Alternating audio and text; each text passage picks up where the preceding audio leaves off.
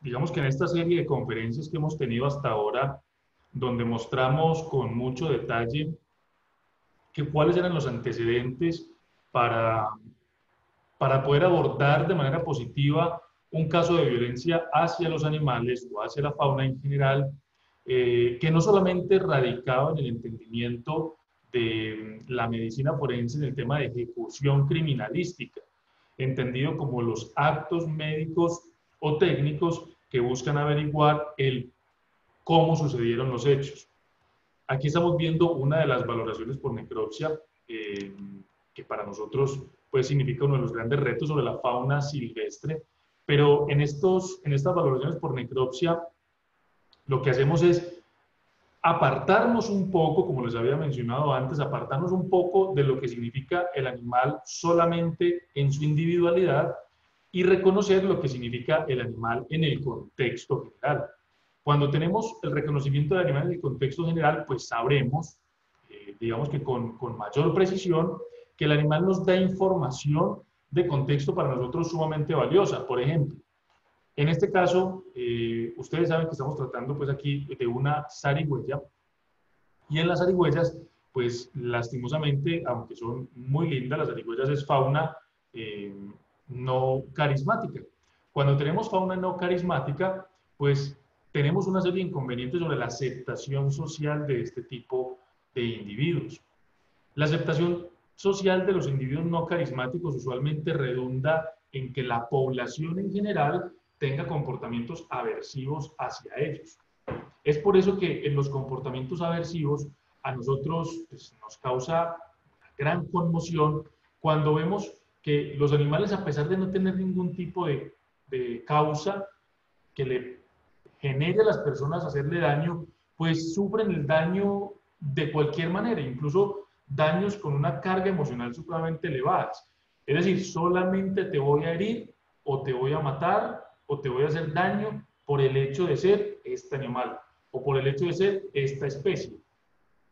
Y eso redunda en lo que en medicina forense humana se conoce desde los años 90 más o menos gracias a la expansión de este término acuñado por la prensa inglesa eh, y norteamericana, que son los crímenes de odio.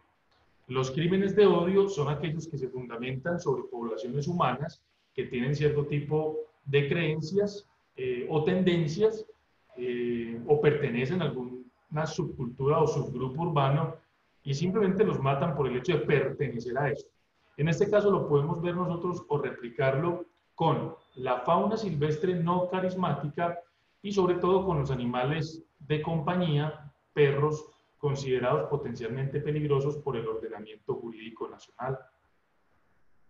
Cuando tenemos entonces este tipo de casos, donde a través de esta animadversión que tienen los participantes de la comunidad, digamos que el conglomerado social eh, en estos o sobre ellos, pues nos queda a nosotros, digamos que una, eh, un sinsabor sobre cómo se pueden evitar este tipo, este tipo de muertes sobre la fauna, eh, empezando porque no hay detonantes o no hay condicionantes para que suceda eso. Esto es un reto supremamente grande, por eso es que la criminología en, en, países con alta biodiversidad eh, supone un reto fundamental para las políticas públicas, sobre todo para la política criminal de un Estado que quiera proteger a los animales. Asimismo, cuando hacemos este tipo de intervenciones, a seguir adelante, cuando hacemos este tipo de intervenciones sobre cualquier especie, por ejemplo, en este caso, y ya habíamos repetido esta pregunta, sobre un felino, digamos que este puede ser un animal carismático, a diferencia de la zarigüeya, pero siempre notamos lo mismo. Y es que hay tantas formas de explicar el delito que en últimas nosotros no sabremos eh, a ciencia cierta el animal que nos esté llegando para ser examinado, para ser, digamos que valorado eh, por medicina forense, pues, ¿qué nos va a presentar a nosotros o qué nos va a significar en materia de análisis pericial forense eh, veterinario, incluso desde la criminalística y la criminología. Por eso cuando hablamos de criminología verde y victimología en animales tenemos que situarnos específicamente en todos los crímenes que afectan el patrimonio ambiental y el papel que desempeñan esas víctimas de ese patrimonio ambiental. Vamos a explicar esta teoría desde un punto de vista que pueda ser fácilmente entendido para todos.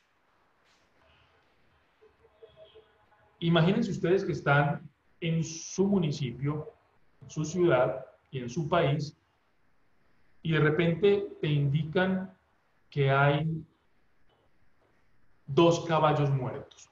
Un caballo era uno de esos caballos que son utilizados para tracción a sangre de los vehículos de tracción animal, que seguramente en, sus países, o por lo menos aquí en Colombia, en Centroamérica, se cuenta mucho los vehículos de tracción a sangre por caballares, mulares y asnales. Yo no sé si ustedes tengan esa misma problemática en este momento en su municipio donde estén viviendo, los leo en los comentarios para que podamos saber si esta problemática es generalizada. De las dos víctimas equinas, una de ellas es un equino de labor, de tracción. Y la otra víctima, el otro animal muerto, equino, es un equino de exposición, de silla. Digamos que es un equino de alto valor. Cuando analizamos esos dos casos de muertes y digamos que los dos puedan llegar a la unidad forense veterinaria para evaluación por necropsia, pues sobre la mesa son dos caballos, ¿cierto? Digamos que para nosotros, en términos puristas, para los médicos forenses, incluso para los patólogos, en términos puristas, sobre la mesa todos los animales son iguales, todos. No importa si es un equino que vale un millón de dólares o es un equino adoptado que es utilizado como animal de tracción o de labor. Sobre la mesa todos son exactamente iguales. Incluso en términos fisiológicos, anatómicos en general son exactamente iguales. Pero cuando hablamos de victimología, no estamos hablando del delito o de la conducta desviada, recuerden que habíamos hecho esta diferencia, sino también estamos hablando eh, del animal, del propio individuo. ¿Qué representa ese individuo para la comunidad? Entonces, si vamos a hacer una descripción victimológica de las dos víctimas que hemos descrito, un caballo de alto valor, de sitio y de exposición, y un caballo de labor, de tracción animal, utilizado para la tracción de animal, estos dos animales nos representan a nosotros características victimológicas muy diferentes. Lo hago con animales domésticos que para nosotros de pronto es un poco más fácil de realizar. La fauna silvestre tiene características victimológicas muy particulares, las mencionaremos ahora.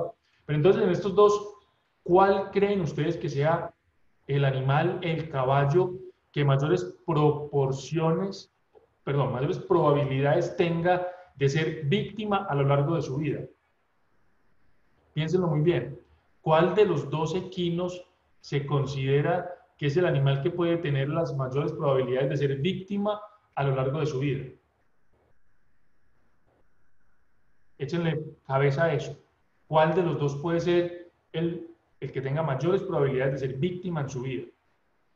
Entonces, si ustedes se ponen a pensar, dirán, bueno, el, el carretillero, el equino de tracción o el equino utilizado para labor de tracción a sangre, pues podría ser el que tenga mayor posibilidad de ser víctima, ¿cierto? Pues en este caso estamos viendo que los contextos hacen que los dos caballos sean altamente tendientes a la generación de maltrato, a sufrir maltrato o a ser víctimas. Lo que pasa es que la victimización de los dos se da en contextos muy diferentes. Y vamos a un subejemplo dentro de este ejemplo. Ya tenemos claro el, el animal de tracción porque es víctima. Lo tenemos muy claro, pues porque es obligado a trabajar todo el día, porque se le restringe el comportamiento natural que reza los parámetros de bienestar de la OIE, que es expresar su comportamiento natural. También porque carga altas, altos pesos, eh, bien sea sobre su espalda o en tracción cuando los vehículos son de dos ejes o de cuatro ruedas. Entonces ya lo tenemos muy claro. Pero entonces, ¿por qué el equino de silla, el equino de exposición también tiene, si no las mismas posibilidades de ser víctima. ¿Por qué es diferente?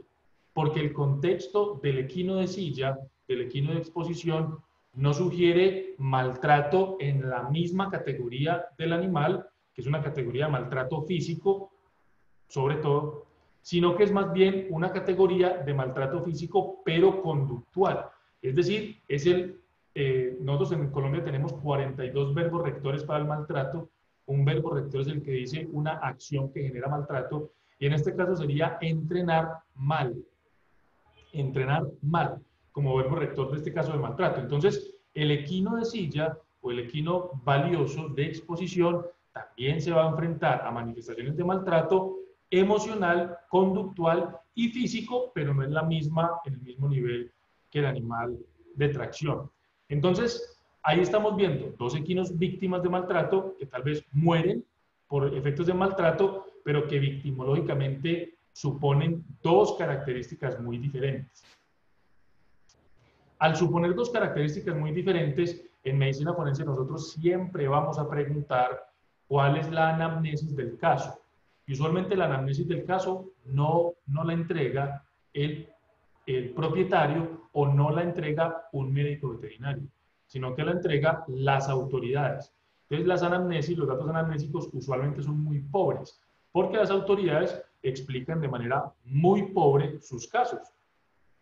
A lo sumo dirían, en el equino de tracción eh, se remite cadáver de equino de tracción, por ejemplo en el informe, se remite cadáver de equino de tracción que fue muerto por maltrato físico. Esa es la información que ustedes reciben, no es más. Entonces, nos toca a nosotros utilizar las herramientas de la criminalística para hacer eh, labores de campo y hacer recopilar eh, testimoniales. Entonces, en ese caso, vuelvo a lo mismo de la caracterización victimológica. Los testimoniales van a ser iguales en uno y en otro.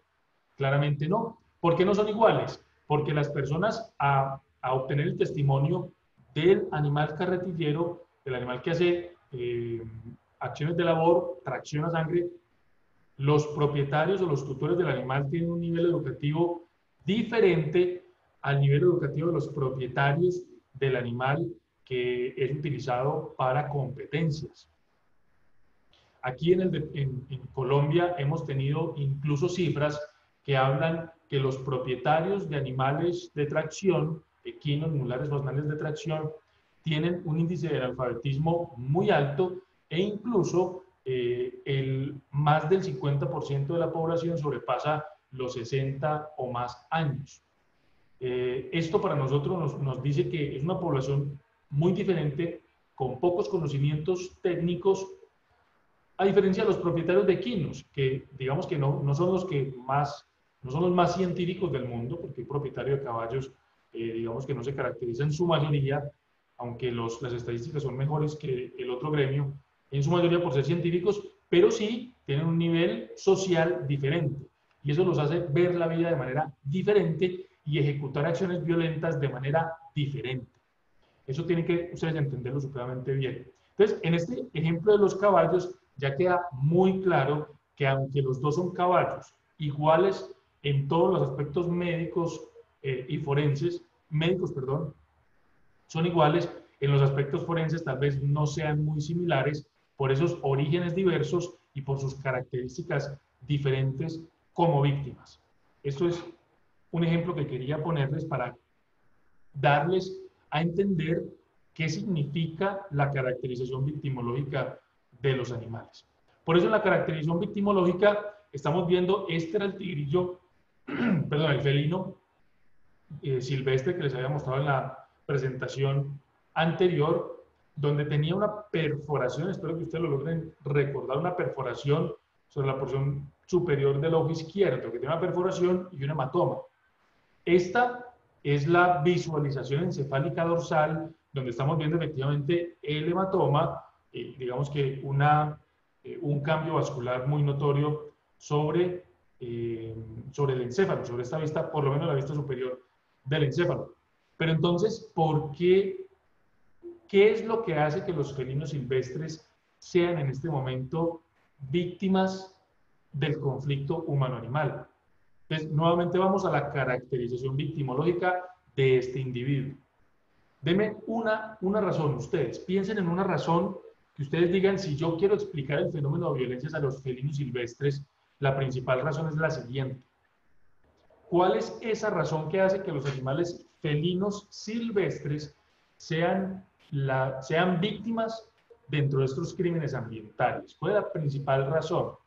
Obviamente, mientras ustedes escriben, hay razones como, no, simplemente me nació de lo más profundo de las vísceras pegarle al animal, o me nació de lo más profundo del ser eh, cazarlo y matarlo, porque simplemente se me antojó. Pero no creo que sean, ustedes estarán de acuerdo conmigo, no son todas las motivaciones, no es la motivación que explique mejor el fenómeno. Ahora, nuevamente, piensen, ¿cuál es esa razón que hace que los felinos silvestres, grandes o pequeños, sean víctimas de crímenes ambientales? Si hacen bien el ejercicio de pensar y de comentarnos, de escribirlo en los comentarios, estarán ustedes ya haciendo las primeras prácticas de caracterización victimológica, que es muy importante antes de cualquier necropsia médico-legal. Siempre que llegue una necropsia o un caso, un examinado para necropsia médico-legal, lo primero que realizamos es una conceptualización de ese animal como víctima. Entonces, no estamos recibiendo un tigrillo, estamos recibiendo un felino de tal zona geográfica donde hay tales conflictos y donde lo que principalmente se demuestra de la población hacia los animales es tal fenómeno.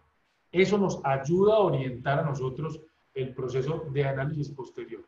Lo voy a leer. Ustedes me dicen que la del animal es por cazar ganado de los individuos, por la piel, por la, por la piel, dicen varios, por la belleza del pelaje, por el tráfico ilegal de especies, porque hay gente que vive cerca donde habita el animal. Entonces, miren los que ustedes mismos han dicho, todos, han dicho características muy propias de las interacciones negativas entre los animales y los seres humanos.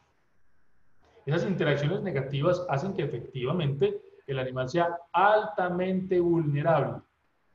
La principal razón es esa interacción negativa que hay entre el felino silvestre en los asentamientos suburbanos y rurales que tengan producciones pecuarias. Esa es una de las principales razones de conflicto que hay en este momento para que un animal sea víctima de maltrato. Este animal. Ahora, mire, ya hemos hecho la caracterización victimológica, digamos que aprendiendo a hacerla, la caracterización victimológica tiene un protocolo supremamente amplio, pero ustedes ya la están haciendo entonces, con esa caracterización victimológica, ahora piensen, ¿por qué yo en esta zona, en Cuenca, en Morelos, en cualquier ciudad de, Latinoamérica, ¿por qué tengo en este momento sobre mi mesa un tigrillo muerto de manera no accidental? Es este caso que estamos viendo. ¿Por qué lo tengo ahí? Entonces, ustedes ya empiezan a pensar, bueno, tengo esta lesión, tenía una perforación, y usualmente son por interacciones negativas entre los felinos en zonas suburbanas y rurales con personas que tengan explotaciones agropecuarias. Pues aquí le están dando una información muy valiosa de contexto, que recuerden que ese contexto eh, cumple la función del 33% de la investigación. Que ya ustedes tienen el 33% de contexto, tienen el 33% de la necropsia, ya van ganando un 66% de información les queda faltando un 33% de información que será correspondiente a los sospechosos. Y con esa información ya ustedes estarán casi que completando el andamiaje de valoración pericial. Entonces, en este caso, ustedes dicen, bueno, lo más probable es que se haya encontrado con un ser humano, que el ser humano se haya defendido, haya defendido su espacio porque le estaba matando animales de su explotación pecuaria y que hubiera resultado muerto por eso. De hecho, es el caso que sucedió justamente con este individuo. Nos eh, comentan esto, que en el litoral ecuatoriano es cultural, se lo ve como una amenaza al ganado y su muerte como un trofeo. Es verdad, es verdad sobre todo para los grandes felinos, para los, eh, los animales como los, las, los pumas, por ejemplo, los pumas de montaña, pasa mucho eso, eh, o también cualquier otro gran felino que tenemos nosotros en nuestro territorio. Después de este análisis, que hace parte del análisis hands-off que les explicaba ayer. Después de este análisis, entonces ya vienen los análisis posteriores de las radiografías eh, y de las pruebas complementarias que podamos nosotros realizar. Entonces ya el análisis que estamos haciendo lo hacemos con base en la información que hemos obtenido de este concepto victimológico. Ahora hacemos el ensayo con otra víctima y quiero que ustedes me cuenten qué piensan. Recuerden, análisis victimológico. Se las voy a mostrar, ustedes la miran con detalle, voy a dar 10 segundos para que la miren con detalle y me comentan en el, en el chat, me dicen, bueno, yo pienso que la razón victimológica para este individuo es la siguiente. ¿Qué hace que este individuo que les voy a mostrar sea considerado una víctima y cuáles son sus principales riesgos como víctima? Esa es la pregunta de investigación para la siguiente fotografía. Se las pongo ya.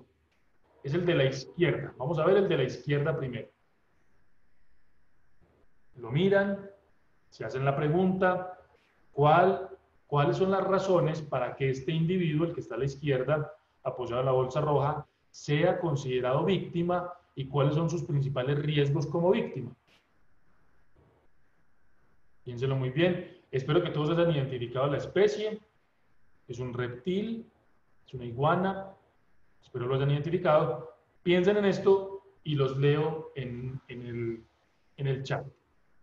¿Cuáles son las razones que llevan a que este individuo sea considerado víctima y cuáles son los riesgos asociados como víctima? Porque miren, mientras ustedes escriben, porque ahí estamos viendo que este reptil tiene una lesión. O sea, si los pongo a pensar como médicos veterinarios, pues ustedes ya tendrían una respuesta muy rápida, muy rápida, porque nosotros para caracterizar lesiones estamos entrenados desde hace mucho tiempo. Pero cuando los pongo a caracterizar víctimas, el pensamiento de pronto tarda un poco más en llegar, es un poco más complejo no es algo a lo que nosotros estemos acostumbrados a analizar todos los días. Entonces, me dicen ustedes, es para consumo de carne, en nuestro medio es para alimentarse, tenemos zonas de cacería y han llegado a extinguirlo, la piel y comercializar su piel para carteras, uso medicinal, por el tipo de lesión y las escamas rotas de la espalda muestran la lucha por parte del animal, seguro lo quieren empezar por el cuero, tráfico ilegal, muy bien. Recuerden que aquí estamos hablando de contextos, entonces, Ustedes, de acuerdo a lo que me están contando, tienen contextos donde la iguana o los reptiles en general se encuentran en contextos de pronto muy diferentes. Aquí en Medellín, que es mi ciudad, que es donde sucedió este caso, en Medellín tenemos unas zonas de la ciudad donde los reptiles se han tomado el espacio. Y son zonas dentro de la ciudad. Ojo que no son espacios suburbanos ni rurales, sino que son dentro de la ciudad. Usualmente cuando el animal se encuentra dentro de la ciudad, eh, es muy extraño observar que se realicen capturas para utilización con fines comerciales. Eh, digo con fines comerciales con subproductos, como carteras, bolsos, correas, zapatos, bueno. En cambio, cuando tenemos estas poblaciones silvestres en contacto tan estrecho con el asentamiento urbano humano, empiezan a haber conflictos de interacción interespecie. ¿Qué significa interacción interespecie? Que estos animales silvestres empiezan a interactuar de manera muy cercana con los animales domésticos, pero muy cercano. De hecho, en el mismo lugar donde este reptil convive, que es el Jardín Botánico de Medellín, hay una colonia de gatos ferales. O sea, conviven en el mismo espacio, compiten con los mismos recursos. Entonces, ya Cristian eh, captó el mensaje con lo que nos puso en el chat y dijo, claro, en ese contexto, entonces el reptil tendría otros factores victimológicos que lo asocian al riesgo como víctima. ¿Cuáles son? Dice Cristian que pueden ser atropelladas, pateadas, mordidas. Y ese es el caso que les quiero comentar. De acuerdo al contexto, este reptil tenía una característica victimológica de pronto diferente a la que ustedes están pensando en su territorio para sus reptiles. Entonces, de acuerdo a lo que hemos conversado, esta lesión que presento sobre el animal puede haber sido generado por qué mecanismo, o por qué elemento, o por qué causa. Piénsenlo bien. Esta lesión pudo haber sido generada por qué mecanismo, por qué elemento o por qué causa. En este caso, debido a la interacción cercana con los seres humanos y debido a la interacción cercana con animales domésticos para agresiones interespecíficas, este animal fue agredido por animales domésticos, específicamente por perros. Es un individuo adulto que fue agredido por perros y obviamente eh, él trató de defenderse, por eso el comentario que pusieron ustedes en el chat es muy válido. Algunas de las escamas dorsales están fracturadas, lo que eh, indica que efectivamente una, una lucha, una defensa, y en este caso entonces fue agredido por animales domésticos. Es una característica victimológica de ese individuo en este contexto. Ahora pasemos a revisar la ardilla roja que está a su derecha. Piensen en la misma pregunta. O que uno era un reptil, este es un mamífero, características, digamos que poblacionales un, un tanto diferentes, pero de acuerdo a lo que estamos viendo en la imagen, yo creo que puedo hacer zoom. Ahí, muy bien. Eh, ojalá, si de pronto me pueden colaborar borrando los, las líneas, les agradezco mucho las líneas amarillas que están ahí, que no las he hecho yo, les agradezco. Entonces, revisen bien esta imagen de este individuo, una ardilla roja, que fue trasladada con, vida. A una clínica veterinaria y falleció. La misma pregunta, ¿Qué características victimológicas hace que esta ardilla tenga alto riesgo de ser una víctima? Háganse esa pregunta. Y bueno, también la respuesta debe indicar la posible causa de muerte, que de pronto la imagen puede ser clara para ustedes para indicar la causa de, la muerte. Es Cristina indica que parece quemado. Esperemos a ver qué opinan los demás colegas porque de acuerdo a esa causa probable de muerte, al individuo que es una ardilla roja, ojo, no es una zarigüeya, no es un pato, eh, no es un reptil, eh, de acuerdo a ser una ardilla roja, a tener ese tipo de lesiones superficiales y de presunta causa de muerte, ustedes pueden derivar un análisis victimológico muy puntual que permite identificar cuáles son los riesgos asociados a este individuo como víctima. Dicen alguien que quemó pastizales y resultó herida, la muerte por shock. Qué bueno, Estuardo. ojalá me indiques por qué tipo de shock. Incendio forestal, pocos árboles y muchos postes de electricidad. Qué bueno usar ese argumento, eh, porque efectivamente puede ser una de las situaciones que más se repliquen en América Latina, sobre todo en animales urbanos, fauna silvestre urbana, donde la segmentación del ecosistema genere que ellos no tengan un ecosistema natural, sino un ecosistema antrópico donde tengan riesgos para los cuales ellos no estén acondicionados. Estuvo a lo mejor en zonas de frutales, dice Estuardo. Miguel dice por deforestar o quemar los cultivos, la ardilla tuvo quemaduras. Muy bien. Ahora, recuerden que con la iguana tuvimos un ejercicio y es que les dije cuál era el contexto. Les voy a decir cuál es el contexto. Usualmente la ardilla roja para los compañeros que tengan conocimiento en fauna silvestre, usualmente la ardilla roja se encuentra eh, en estrecho contacto con los seres humanos. Digamos que es común encontrar la ardilla roja en asentamientos urbanos, incluso en grandes centros urbanos como el nuestro, como Medellín. Entonces, en este caso, cuando la ardilla tiene que convivir con nosotros para desarrollarse como especie, eh, y no solamente el individuo, sino toda la especie o toda la población que se encuentra con nosotros, pues claramente tiene que lidiar con los riesgos antrópicos. Por ejemplo, una ardilla nunca, nunca, nunca en un bosque va a tener la posibilidad que navegando entre árboles sufra un arco voltaico, lesiones por arco voltaico. Eso eso nunca, nunca, nunca sucede. Por electrofulguración, sí, pero por arco voltaico, no. Mientras que ese riesgo sí lo tiene en entornos urbanos. Entonces, la ardilla roja ha tenido miles de años de, perdón, de evolución donde ha aprendido a identificar riesgos. ha aprendido a identificar situaciones que la ponen en peligro y ha aprendido también a encarar esas situaciones que le, que le generan peligro. Pero para ella reconocer un poste de luz es algo muy nuevo. Para ella aprender como especie, qué significa un, un arco voltaico, es muy diferente, es muy difícil para ella como especie. Y en este caso les voy a contar qué fue lo que sucedió. Entorno urbano, la ardilla usualmente en entornos urbanos encuentra no mucho alimento, la verdad no hay mucha disposición de alimento, entonces acude a fuentes de alimentación artificial, lo que nosotros aquí en Colombia denominamos cebaderos.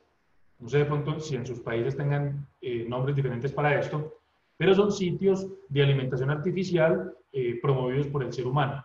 Entonces, cuando la ardilla encuentra los cebaderos, pues es el camino más fácil. Ella, ella piensa, hombre, bueno, yo puedo pasar siete calles, cuatro edificios y encontrar un, un árbol de almendras, o puedo pasar tres calles y encuentro un cebadero, siempre a disposición. Entonces, ¿qué es más fácil para ese individuo? Ir a ese cebadero donde hay alimento a disposición a consumir. Pero resulta que los cebaderos en zonas urbanas no solamente son para fauna silvestre. Los cebaderos usualmente son para aves y para fauna doméstica, para perros, para gatos, en fin. Es un sitio de comunión de muchas especies de todas las categorías. En este caso, lo que hizo la ardilla fue bajar a consumir alimento en este cebadero, se encontró con otra especie, la otra especie intentó agredirla, la ardilla muy posiblemente era un felino, que es su principal eh, némesis citadino. La ardilla lo que hace es intentar huir y su cola genera arco voltaico con una fuente de electricidad cuando genera el arco voltaico, lo que hace es que sufre la descarga, eh, una gran descarga, queda en el suelo, la ve un transeúnte, la lleva a la clínica veterinaria y pese a los esfuerzos de los médicos, la ardilla fallece. Entonces lo que estamos viendo en imagen es una ardilla que tiene obviamente unos signos de combustión, unos signos de quemaduras térmicas por los, la propia, el propio mecanismo de conducción eléctrica que tiene eh, un arco voltaico. Entonces miren que son ambos, son víctimas urbanas, víctimas urbanas con características victimológicas muy particulares, pero que tal vez ustedes en sus territorios pues simplemente eh, no tengan, simplemente no lo compartan y compartan otro tipo de situaciones para estos animales. Vamos a ver un caso que para mí, eh, que recuerdo con mucho, con mucho orgullo, mucha emoción, un caso de colaboración con el Ecuador, precisamente donde muchos de ustedes de este eh, hermoso vecino país nos permitieron hacer la valoración pericial eh, con la colaboración del Ministerio de Ambiente. Y quiero que analicemos este tema desde el punto de vista victimológico. Recuerde que el marco conceptual ahora es la criminología verde, pero estamos hablando dentro de la criminología verde de los delitos contra los animales y de los animales como víctimas. Entonces, vamos a por ello. Es el caso de AMI. ¿Recuerdan ustedes el caso de AMI? Pónganme en los comentarios si lo recuerdan. El caso de AMI. ¿Qué especie era AMI, si lo recuerdan? ¿Qué especie era AMI y qué fue lo que sucedió con AMI? ¿Qué recuerdan de este caso que sucedió en, en el país de el Ecuador. Los que recuerden. Esa noticia también fue internacional. Eh, entonces, de pronto la gente de Bolivia, de Argentina, de Chile, de Centroamérica, también eh, recuerdan este lamentable caso. Y efectivamente, UAMI, muchas gracias a los chicos que opinaron, es un cóndor andino, el cóndor andino eh, que estaban, digamos que en unos procesos de conservación de la hermana República del Ecuador. Aquí tenemos entonces a nuestro colega y gran amigo Diego Medina haciendo su valoración pericial, eh, digamos que aplicando los conocimientos que, que, en parte le hemos enseñado y aprendido y leído en materia de medicina forense para aplicarlos a este caso real de la muerte de Ami. Antes de seguir avanzando, y sin importar hasta ahora cuál haya sido la causa de la muerte, que también es conocida por muchos. ¿Qué sucedió con Ami como víctima? Recuerden la pregunta.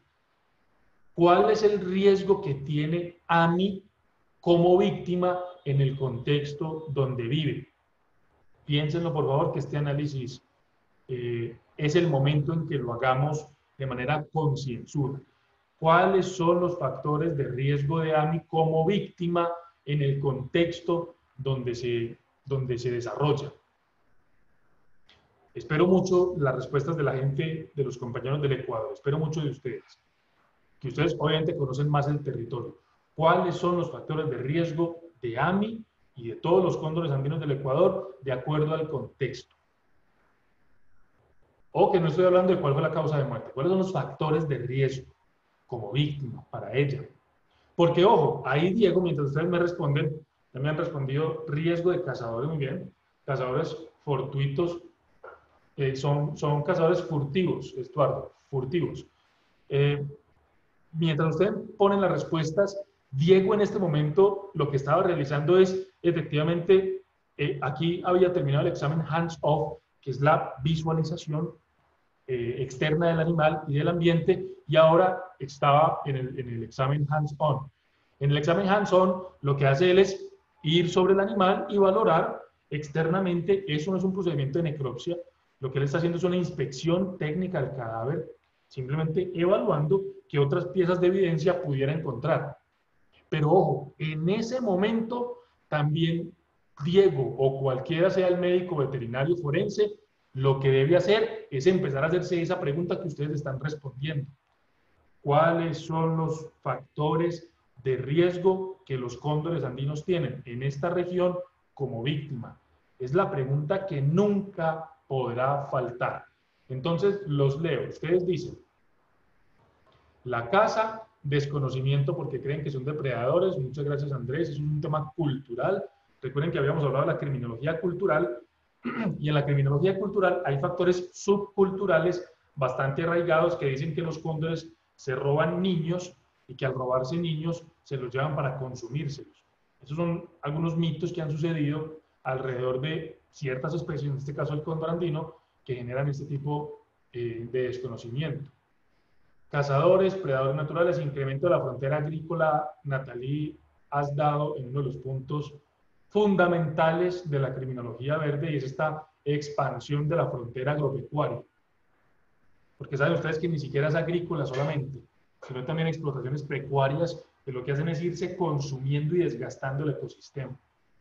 Entonces el índice cultural, consumo de animales muertos por envenenamiento, deforestación. Roberto, también una, una gran explicación en una sola palabra, la deforestación. Ustedes han visto bueno, en sus países tendrán sus propias cifras, pero nosotros hemos perdido miles de hectáreas por deforestación para la, para la siembra de cultivos ilícitos, para la generación de nuevas rutas eh, ilegales de narcotráfico, y eso efectivamente impacta de manera negativa el ecosistema. Cultural, se piensa que el cóndor lleva el ganado, muy bien, la caza por trofeo, envenenamiento, destrucción de páramos, daño al ecosistema, muy bien, muchas gracias JM que nos dio esta explicación. Entonces, ojo, quiero que todos en este momento tengamos muy claro que la función de nosotros no solamente es médica. El médico, y mire que ustedes lo están detallando ahora, el médico veterinario es uno de los grandes responsables en hacer análisis comparativos entre la medicina y la sociología, por ejemplo, entre la medicina y la política, entre la medicina y el derecho. Esos análisis son propios del médico veterinario, nosotros no estamos acostumbrados a hacerlos. A ustedes se les pide prácticamente todos los días eh, que diagnostiquen, que hagan una prueba, que lean un hemograma, que lean una radiografía, y ustedes se desarrollan supremamente bien ahí. Pero cuando les preguntan, bueno, ¿y qué implicaciones políticas tiene una muerte de un cóndor andino? implicaciones políticas tiene la muerte de un cóndor andino. Ustedes saben muy bien que los médicos veterinarios podemos dar esa respuesta, porque la política no es solamente la que hacen los políticos, que eso es una figura de representación, pero la política en general la hacemos absolutamente todos. Todos hacemos política en todo momento. De hecho, yo en estas conferencias que estoy haciendo les he hablado de política. ¿De política qué? De política criminal, de cómo nosotros como un Estado podemos defendernos entendiendo la magnitud del problema de maltratar animales y de violentar animales. Eso es un acto político, pero no es un acto politiquero. Eso es otra cosa que efectivamente en estas reuniones académicas no vamos a conversar, pero quiero que entiendan en el buen sentido de la palabra qué significa un acto político para un profesional de la medicina veterinaria. Entonces, ustedes, por ejemplo, la destrucción de páramos que he comentado también en el último comentario, eso es un comentario político. ¿Por qué político? Porque le importa que dentro del ordenamiento jurídico nacional se protejan los páramos, se protejan los ecosistemas, a través de cualquier herramienta que haya disponible, ojalá herramientas que permitan una optimización de los recursos. Entonces, eso es lo que Diego, además de la valoración física, debe estar haciendo con AMI en ese momento. AMI como víctima. Recuerde que diferente fuera un águila arpía, diferente fuera un águila real, diferente fuera un halcón, diferente fuera un buitre, una guacamaya y un cóndor. Es que el cóndor tiene una implicación muy poderosa dentro de la soberanía de cualquier país, sobre todo de los países de la región andina. Ahora miremos de cerca a AMI. Esta es una de las fotografías, es una fotografía fuerte, eh, pero que habla de ese perfil de AMI como víctima. Perfil físico y perfil, eh, digamos que en este caso, sería una perfilación eh, teórica de ella como víctima. Ya hemos hablado que entonces muchas son las razones para que AMI pudo haber, pueda haber encontrado la muerte. Eh, ustedes han hablado de, de, interacciones negativas con agrotóxicos, por ejemplo. Es altamente probable. Que haya carroña contaminada, es altamente probable. Que hayan cazadores furtivos, es altamente probable. Eh, que hayan animales que de pronto eh, no pertenezcan al ecosistema como animales domésticos que generen lesiones sobre ellos, altamente probable. Cualquier posibilidad es válida.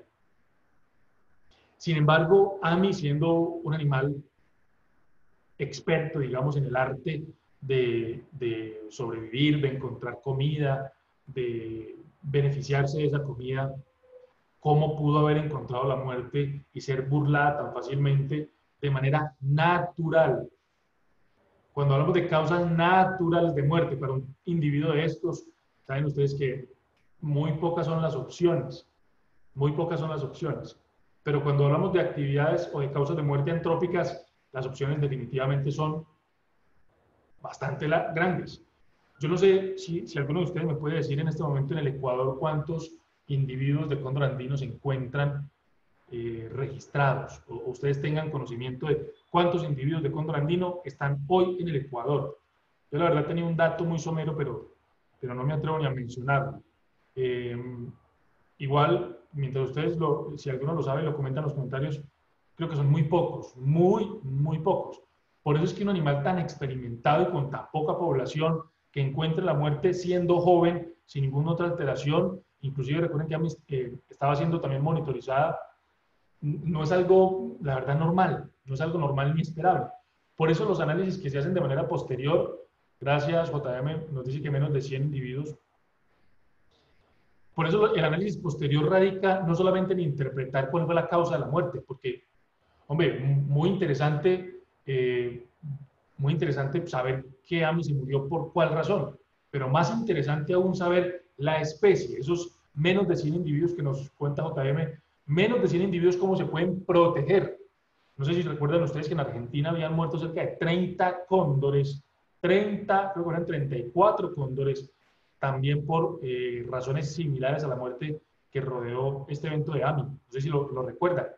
Entonces, tanto duele AMI como duelen los 34 cóndores de Argentina. Es una gran pérdida para el ecosistema, porque saben ustedes que los cóndores andinos no tienen fronteras, no tienen fronteras. Las fronteras son para los humanos, son fronteras geopolíticas, pero los cóndores andinos, andinos no saben de eso. Entonces, un cóndor, posiblemente eh, el que nosotros denominamos cóndor colombiano, pues sea un cóndor sudamericano, que haga sus trámites por dos o tres repúblicas al mismo tiempo. Entonces, en este tipo de escenarios es más importante que determinar la muerte de AMI es las maneras de prevenir otras muertes similares. Por eso que en este caso la identificación de la muerte de AMI, pues en definitiva da información de ella. Pero lo más valioso que salió de todo esto es que nuestro querido colega y la Fundación Condorandino lo que hicieron fue elaboramos un grupo de trabajo donde dimos razones de por qué pudo haber sucedido y cómo podemos evitar otras muertes. De eso se trata la criminología. Ustedes entender la causa de la violencia, las razones violentas y por último, irse a tratar de evitar el problema. Y miren que en este tratar de evitar el problema no estamos hablando de cárcel. En ningún momento estamos hablando de cárcel. Porque eso es otro de los, de los sofismas de distracción de generación de políticas públicas para la protección de la biodiversidad y los animales. La cárcel. Eh, en este momento en Colombia, desde el 2016, dieron, eh, dieron un censo, perdón, desde 2016, lo que nos dieron fue, perdón, se fue la palabra. Eh, desde el 2016 lo que nos dieron fue herramientas para poder sancionar a los que maltratan animales y dijeron que iban a dar cárcel, es decir, pena privativa de la libertad de uno a tres años. Antes del 2016 en Colombia eh, y Juan Luis nos lo va a comentar también en su exposición, nuestro abogado Juan Luis, antes no había cárcel para que matara animales. O sea, usted podía matar un animal, perdón, lo podía matar y le hacían un proceso administrativo, pero, pero no lo mandaban a la cárcel. Ahora sí, pero la gente dice, no, es que tres años es muy poquito para un maltratador de animales. Sí, puede ser muy poquito. Pero ¿quién dijo que el fenómeno violento hacia la fauna se cura con cárcel. Eso ya está analizado, comprobado y estudiado que la cárcel no repara ninguna forma delictiva, ninguna. De hecho, en situaciones, vamos a salir un poquito de, la, de los animales, en situaciones recientes como la discusión de la pena para violadores de, niños, donde se decía que deben recibir pena perpetua, eh, la pena perpetua tampoco no aporta en nada a que se solucione el tema de las violaciones a los niños, niñas y adolescentes. O sea, no aportan nada desde el punto de vista criminológico. Y qué pena pues para los que apoyen el tema de la, de la pena de muerte o de las penas perpetuas para violadores. De hecho, creo que debe haber una sanción siempre la mayor para este tipo de actos. Pero lo que les digo es desde el punto de vista criminológico no aporta nada al fenómeno. Entonces, en este caso, si yo encuentro a los responsables de la muerte de Gami, a los responsables de la muerte de los 34 cóndores en, Argentina. Y los meto presos 250 años. Pues obviamente no llegan hasta allá, pero digamos que los meto presos toda la vida. Dígame en qué grado pude haber mejorado la problemática de muerte hacia fauna silvestre en el Ecuador, en Bolivia o en Colombia. En nada. Lo que hice fue restringirle la movilidad pública a ese o esos individuos que generaron ese impacto. Pero, por ejemplo, en este caso, AMI muere por intoxicación de agrotóxicos. Si fue una persona la que tiene el agrotóxico y yo la meto presa toda la vida, el problema de mala utilización de agrotóxicos se acaba. Lo que extraño de las conferencias presenciales es que inmediatamente escuchamos el no rotundo y efectivamente es un no rotundo, no se acaba el problema de mala utilización de agrotóxicos. No se acaba el problema de los conflictos que tienen los ganaderos con los felinos. Porque, por ejemplo, eso en parte fue lo que sucedió en Argentina y ha sucedido aquí en Colombia. Que el ganadero quiere tomar acciones contra el felino silvestre, entonces le pone un cebo envenenado. Pero como el ganadero no es un experto en el manejo de la biodiversidad de la fauna, cuando le pone el cebo envenenado, olvida que en ese ecosistema hay animales necrófagos principales antes que el felino. Por ejemplo, un cóndor, un buitre, cualquiera que, que tenga, digamos que esta predilección alimentaria. Entonces, ¿quiénes son los que principalmente van a llegar a ese envenenado? Los necrófagos.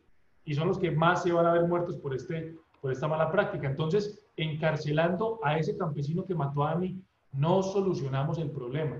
Es más, ustedes pueden coger, y creo que ya tenemos, ya me han cogido un poquito la onda o la idea, yo puedo coger ese campesino, lo llevo a la palestra pública y lo pongo en la silla eléctrica y lo mato. Inmediatamente muchas personas pudieran aplaudirle al gobierno diciendo, muy bien, eso es un castigo ejemplar, eso es lo que queríamos. Y les pregunto todavía en ese caso, ¿creen ustedes que el fenómeno violento con esa acción va a desaparecer? La verdad no. La verdad no va a pasar nada con el fenómeno violento porque ese campesino, por ejemplo, pudo haber matado a Ami, estamos hablando de casos hipotéticos, pudo haber matado a Ami simplemente por ignorancia supina. Ignorancia supina y no intención criminal, que son cosas completamente diferentes. Usted puede matar a un animal por acción y por omisión, por culpa o por dolo, es decir, con intención o sin intención. Entonces, ¿qué pasa si el animal, la persona que usted está sacrificando, mató a Ami de manera no intencional? ¿En qué le aporta eso al fenómeno? En absolutamente nada. Muy bien, gracias Patricio. Ese es la, uno de los comentarios que quería leer y es que no se termina, pero queda temor en quienes quieren usarlos o hacer. Y a eso voy. ¿Qué pasa si las acciones irresponsables contra el medio ambiente no son intencionales? Por ejemplo, usted va caminando, seguramente nos ha pasado a nosotros, va caminando, eh, tiene una botella y la tira, porque no había basura, la tira al ambiente, a cualquier parte. Esa basura va rodando, rodando, llega un afluente y en ese afluente una tortuga, mete la cabeza y queda atrapada en la, botella y se muere. Resulta que por cuestiones de la vida habían cámaras en todo ese espacio y se dieron cuenta que usted fue el que tiró la botella. Entonces a usted lo meten a la cárcel y lo ejecutan en la silla eléctrica. Eso, digamos que, ¿qué impacto va a tener en la población en general, cuyo problema no es que le tengan miedo a matar a la fauna, sino que son irresponsables con el manejo de residuos? Que no piensan cuando botan una basura a la calle. Yo entiendo que ustedes, eh, yo entiendo que ustedes interpreten que de pronto puede la gente coger escarmiento, pero ¿cuánta gente coge escarmiento con, con esos actos? ¿Cuánta gente le llega el escarmiento a lo profundo de su ser para generar cambios sustantivos? ¿O cuánta gente simplemente dice, hombre, eso es una cosa grave, pero al día siguiente se le olvida, como a todos nosotros, se le olvida y sigue ejerciendo acciones negativas? Por eso es que para nosotros la criminología es la principal fuente de educación y sensibilización para los gobiernos, para las comunidades y para los profesionales que quieran aportarle positivamente a los cambios que requiere el ecosistema. Muy bien. Sigamos entonces adelante. Esta fue una de las eh, revisiones previas al viaje a Colombia de los productos corporales de AMI con el doctor Diego. Eh, ya fue un análisis que realizamos aquí al interior de la unidad forense veterinaria con nuestros especialistas, uno de ellos el doctor Jorge Gómez, que ya se dirigió hacia ustedes en una de las conferencias anteriores. Al final, ¿qué fue lo importante? Bueno, nosotros pudimos determinar la causa de la muerte a través de nuestros equipos de toxicología forense, identificamos los agrotóxicos, digamos que hasta ahí ovaciones y aplausos y todo salió muy bien.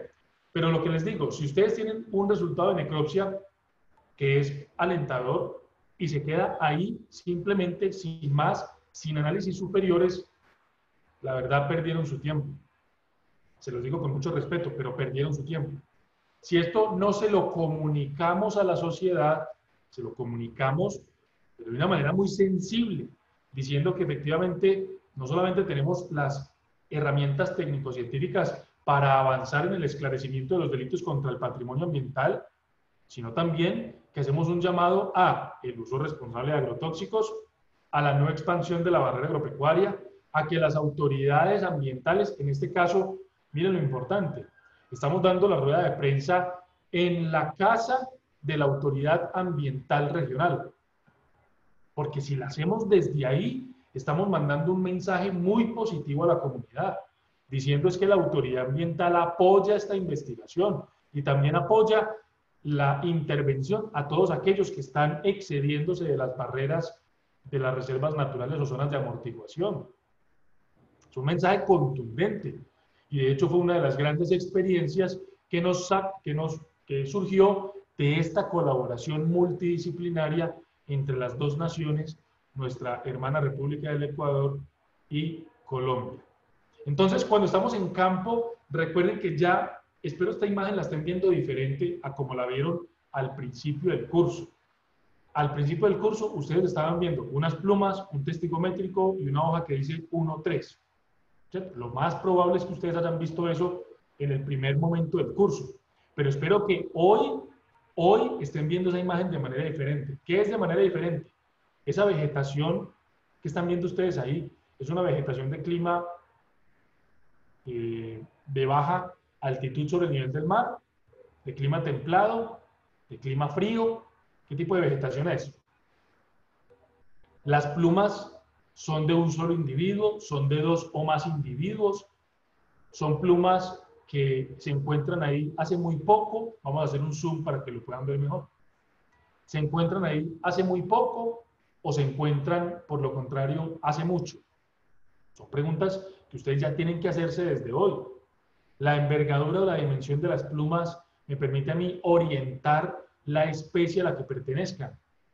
Entonces, recuerden, información para buscar en imágenes del lugar del hecho, del sospechoso y de la víctima, para que no lo, no lo olviden nunca. Este, por ejemplo, es un proceso, eh, es una etapa cadavérica dentro de la dinámica cadavérica para el intervalo post-mortem, es una dinámica cadavérica tardía, esta que estamos viendo a continuación. Pero entonces, siendo una actividad tardía, dependiendo del clima, usted puede decir, esta actividad se generó en días, en semanas, tal vez en meses o tal vez en años. Si usted, por ejemplo, mira los, eh, los montañistas que murieron hace 40 años en, en los montes más altos, en el Everest, por ejemplo, que hay documentales al respecto, Murieron hace más de 40 años y no tienen la apariencia que tiene esta osamenta. De hecho, todavía conservan eh, la piel y conservan, digamos que gran parte de su fisionomía. En este caso, está prácticamente la osamenta desnuda. Entonces, ¿cuántos días, semanas o meses tarda en un páramo en que este tipo de osamentas aparezca de esta manera? Y la otra pregunta es, ¿ahí hay huesos de qué animal o de qué animales. Y les pregunto eso por lo siguiente. Nosotros tuvimos, después de AMI, o antes de AMI, bueno, no recuerdo, otro cóndor, pero fue colombiano. Cuando nos llegan las muestras del cóndor, llega una osamenta muy parecida a la que están viendo ustedes en la imagen. En la osamenta habían extrañamente le hicimos radiografía, como es el protocolo, pero extrañamente habían unos huesos, creo que eran tres huesos, que no correspondían con la estructura anatómica en radiografía de los huesos de un ave. Alguien que me menciona ahí en los comentarios cuál es la característica principal en radiografía de un hueso de un ave como un cóndor. Por ejemplo, en un fémur. ¿Cuál es la característica principal en radiografía? Que lo comente ahí, lo invito, lo invito a desayunar un día que venga a Colombia o si está en Colombia, lo invito a desayunar.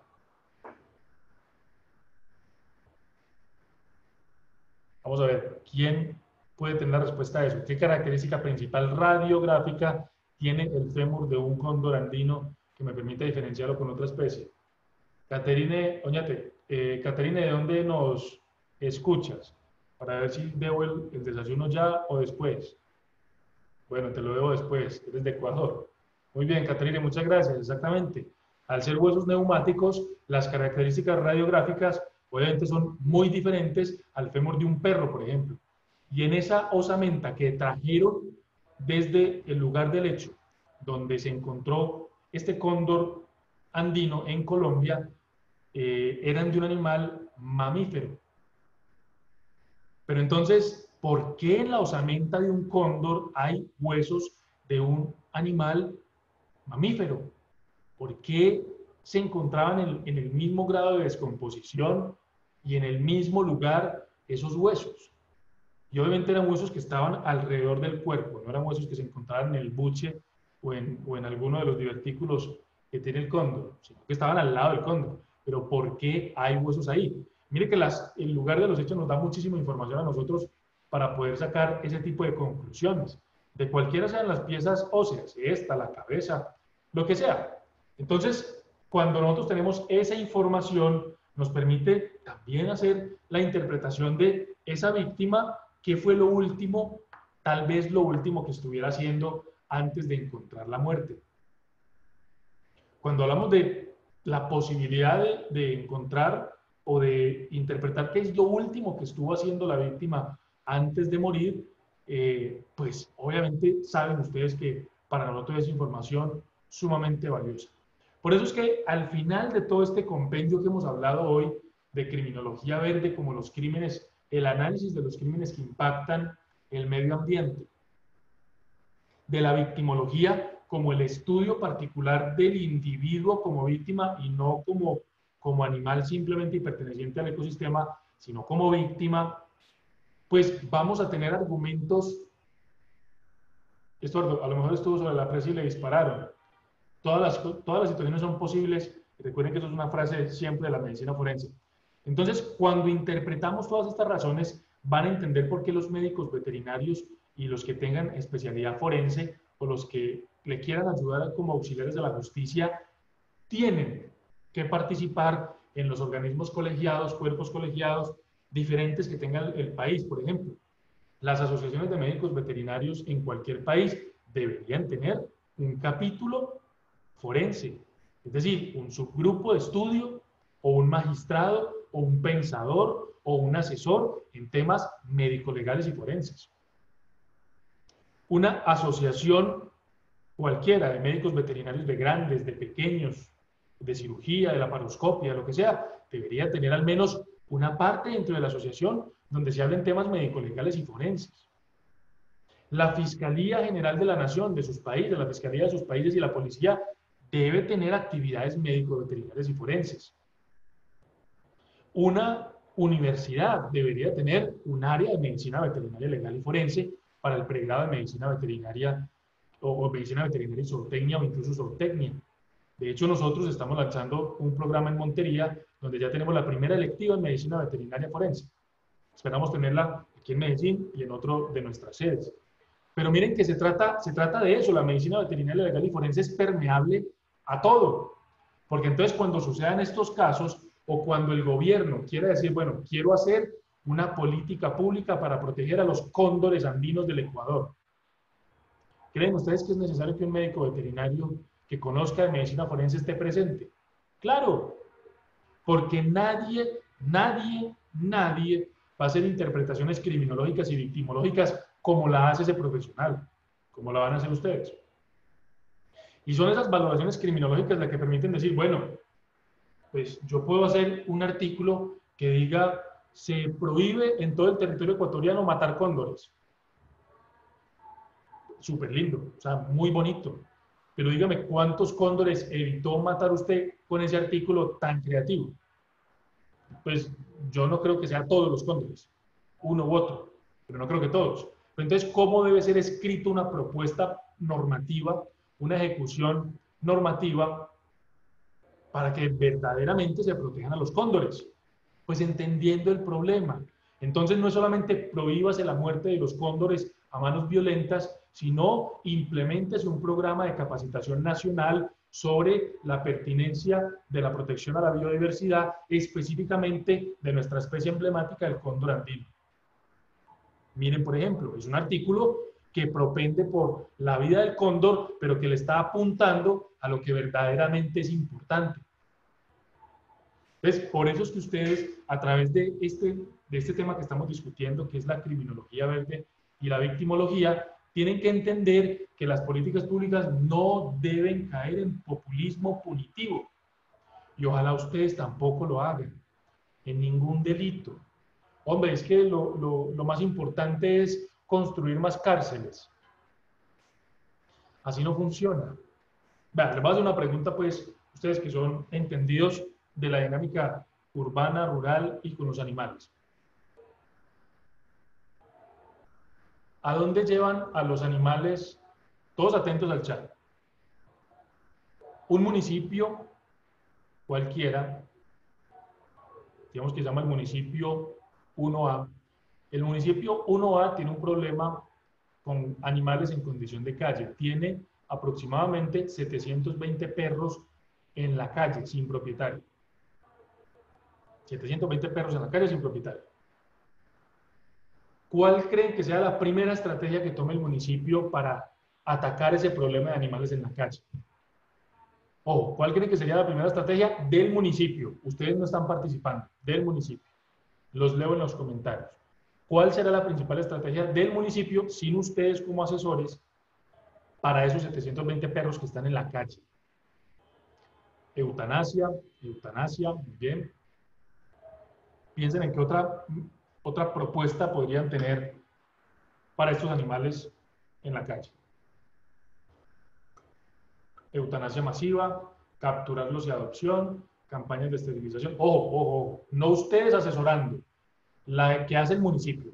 El municipio 1A, ¿cuál es la estrategia que implementó? La siguiente pregunta, la pregunta número 2, es ¿qué harían ustedes para ayudar al municipio a esa estrategia? La primera es, ¿qué hace el municipio? Veneno, eutanasia, muy bien. De hecho, estoy de acuerdo con ustedes porque eso pasa. Lo que pasa es que los municipios sin asesoría, lo primero que hacen es o eutanasia o construir albergues. Construcción de albergues. Entonces dice, no, para los perros de la, calle, de la calle, yo lo que voy a hacer es construir un refugio, un albergue, un centro de bienestar. Entonces hacen un recurso, eh, disponen un recurso muy oneroso, construyen un centro de bienestar animal, eh, salen en, en prensa, en medios noticiosos, diciendo que le estábamos apostando al bienestar animal a través de la creación de este albergue. Eso no es apostarle al bienestar animal. Eso no es apostarle al bienestar animal. El bienestar animal no radica en apostarle a que el perro que esté en la calle no esté en la calle simplemente llevándomelo para otra parte. Eso se llama trasladar el problema. Porque usted no está interviniendo nada puntual. Simplemente el perro que está en la calle me lo llevo para que nadie lo vea en la calle y yo lo vea en el albergue. La idea no es esa. Ahora, como asesores, ustedes, ¿qué estrategia le dirían al municipio para que implementara con esos 720 perros que están en la calle. Ahora sí, como asesores. Campañas de esterilización y charlas para evitar el abandono.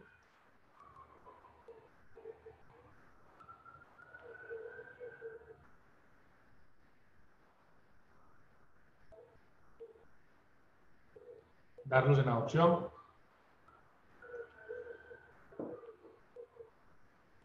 Ahora miren lo siguiente. Campañas de adopción y charlas, muy bien. Ahora miren lo siguiente. Resulta que en 10 años se va a hacer una valoración de eso que usted propuso anteriormente. Usted por cuestiones de la vida y del éxito que, que les tendrán asegurado ustedes eh, profesional y en la vida, ustedes ya están trabajando en otra cosa, digamos que mejor posicionados. Pero dentro de 10 años, la gente que esté en ese programa, en ese albergue, va a decir, bueno, en, hace 10 años habían 720 perros en la calle. Hoy, hoy tenemos en la calle 1.630 perros en la calle. Significa que el programa no ha tenido éxito. Y aquí en el albergue tenemos aproximadamente 2.100 perros en el albergue. En un, en un lapso de, dos, de 10 años. Y resulta por allá un filósofo, uno de esos, eh, de esos que creen que saben mucho, yo, yo, espero que ustedes, les voy a comentar un datico extra, busquen la teoría Dun, del sesgo Dunning-Kruger. Busquen el sesgo Dunning-Kruger, por favor. Eh, espero que ayer hayan buscado también el patrón Overkill, ¿cierto? Son tareitas que les estoy dejando para que cada uno lo haga a su antojo, pues a su tiempo, pero, pero que es importante. El sesgo Dunning-Kruger. Entonces, cuando uno cae en el sesgo de un kruger uno cree que sabe sobre un tema. Uno cree que sabe. Es como cuando uno se monta en un taxi y le dice al taxista, lléveme a tal parte, y el taxista le dice, hombre, no, es que esto está muy difícil. Es que lo que deberían hacer para evitar tanta contaminación es cerrar todas las empresas. Eso se llama sesgo Dunning-Kruger. Cuando usted no sabe de algo, usted opina como si supiera.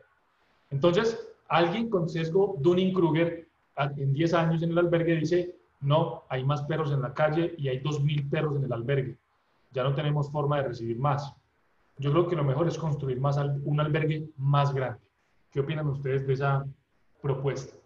Yo que les estoy contando una propuesta que no es una historia, es una anécdota. O sea, pasó en la vida real, en varias partes que conozco.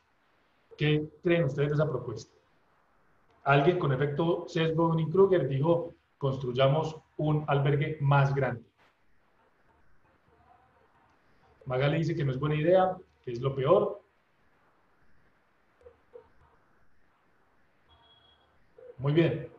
Exactamente, Magali, estamos, estamos contigo, incluso eh, con Patricio que dice, no se trata de acumular mascotas, sino de darle un hogar y procurar no tener ninguno. Muy bien, centro de manejo. Lo que estamos, lo que estamos haciendo es empeorando el problema, empeorando. Si usted al principio tenía 720 perros y después de 10 años tiene 1.630 perros y construyó un albergue, pero no hizo más, significa que el problema no es que el albergue era chiquito, significa es que usted en 10 años no atacó la raíz del problema. Entonces, mire, y ojo, nuevamente insisto, no es un cuento, es una anécdota, pasó en realidad y las cifras son más grandes que las que les estoy mencionando. Entonces, en ese caso, lo que debe pasar es que haya un comité técnico, ojalá con ustedes que ya saben del tema médico-legal, saben de criminología y victimología, y digan, no, es que antes de cualquier solución, lo que tenemos que hacer es un análisis de las causas de la violencia, porque animales en la calle es una manifestación de violencia, que se llama maltrato por negligencia y omisión, donde se incluye el tema del abandono. Entonces, tenemos que hacer un análisis del fenómeno para atacar las consecuencias del fenómeno, para atacar las consecuencias del fenómeno y que en los próximos 10 años ustedes vean una reducción significativa de esos animales en condición de calle. ¿No creen? De hecho, a veces las, las causas del abandono no tienen que ver con los animales, y se los aseguro. Muchas de las causas del abandono tienen que ver con un tema de adquisición de, de, de necesidades básicas insatisfechas por ejemplo, mayor inseguridad ciudadana, eh, menores y peores ofertas laborales, eh, menor cubrimiento educativo de los niños, niñas y adolescentes en el municipio. Entonces, cuando usted une todos esos factores, una, una de las consecuencias es el abandono de animales. Entonces, miren que cuando yo conozco todo eso, la razón, la, la conclusión nunca va a ser construir un albergue. La conclusión va a ser atacar todos esos frentes como conglomerado social, pues para que no siga sucediendo y que el abandono baje también mucho. Falta de cultura sobre tenencia doméstica, muy bien. Creo que, creo que con lo que les estoy leyendo, ustedes ya, ya me cogieron, digamos que la idea y están pensando como debería ser, están pensando en, en el fundamento del asunto. Miren que aquí cierro el paréntesis del albergue, hice un ejemplo con la creación de un albergue en una ciudad hipotética que tenía animales en condición de calle, donde la razón común eh, o el sentido común nos dice que la solución es construir un albergue. Ahora vámonos al tema de maltrato animal. Alguien también, otro filósofo con el sesgo de Dunning-Kruger dice, no, es que para el maltrato animal la conclusión es que tenemos que mandar a la gente a la cárcel, a la cárcel y que se vayan y que se pudran en la cárcel y que bueno.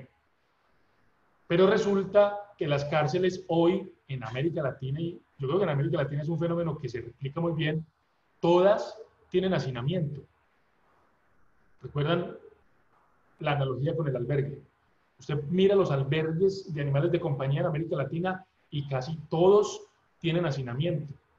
De hecho, hay, uno, hay un albergue muy famoso, un centro de bienestar muy famoso, en Costa Rica. Si alguien de Costa Rica me dice cómo se llama el albergue, yo no voy a decir el nombre, pero si alguien de Costa Rica en el chat que nos escriba cómo se llama el albergue. Muy famoso, que son perros en pastoreo prácticamente, pero que tiene sobrepoblación.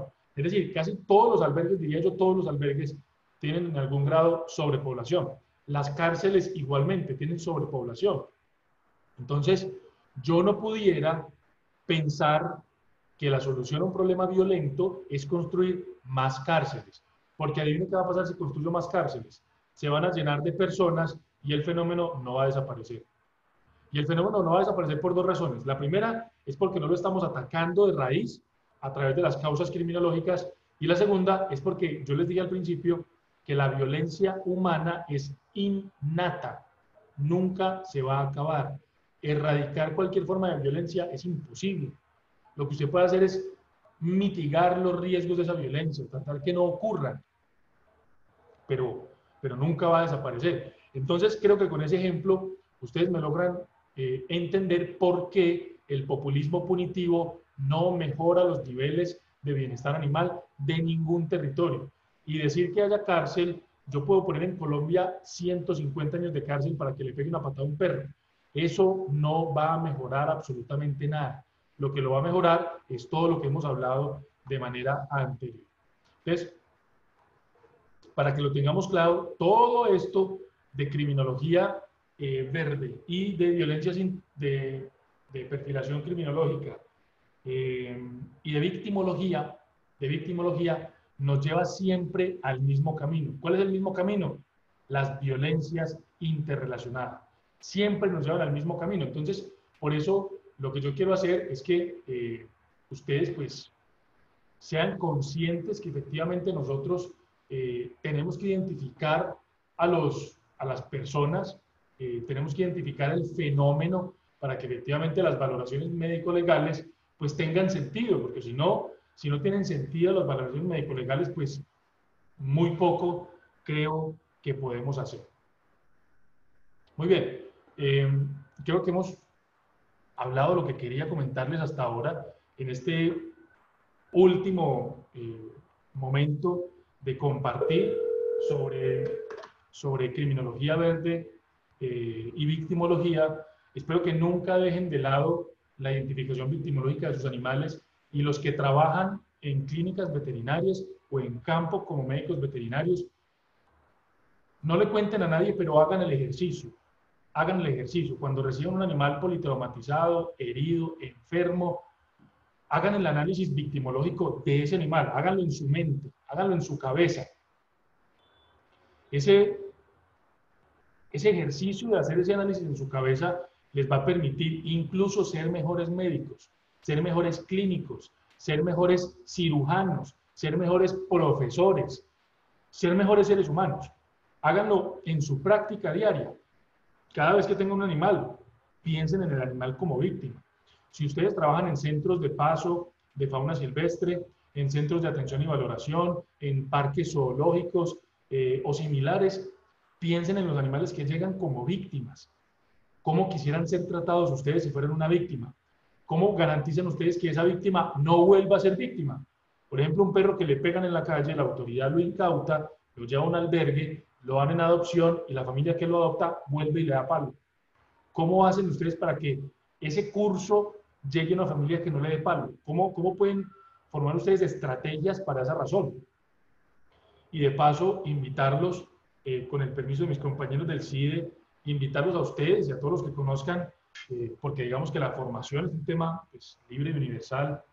Queremos hacer nosotros de manera gratuita un curso taller sobre perfilación criminológica para adoptantes y compradores de animales, para evitar eso, para evitar que los animales lleguen a familias o personas que los maltraten.